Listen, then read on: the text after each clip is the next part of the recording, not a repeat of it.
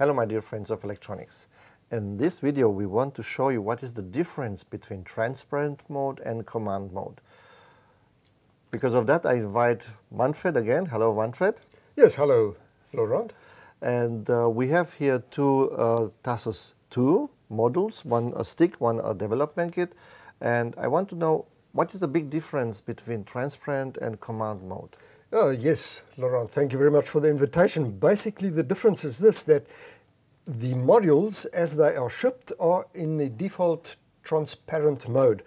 That means that all the data which are sent to the module via UART, in this case over the USB port with the FTDI transformer, sends it to the module via UART, and that is in a transparent mode. I've got no control of the module. Everything I put in gets transmitted straight across to your side. Now let's do that straight away. I'll do a little test and I'll send a little message here.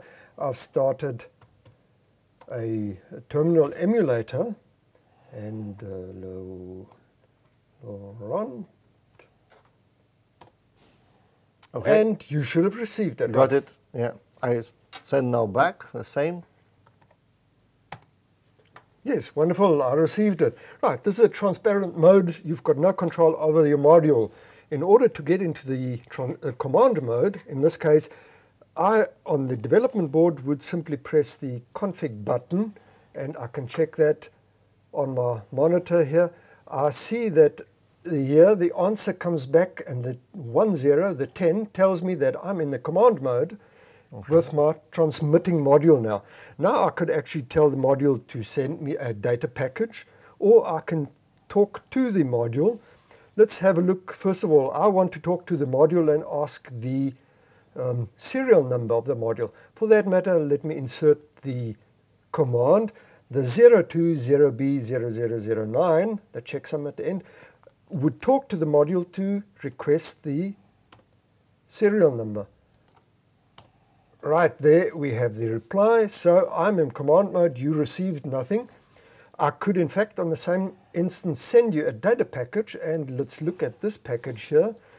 I'll put it into my insert line as well. Now this looks a little bit different. I'm going to send you 10 times the 55. The beginning is the 02, the preamble, the command 00, the length 10, and that is my package of 55s with the checksum at the end. Right, let's test this and see what you get.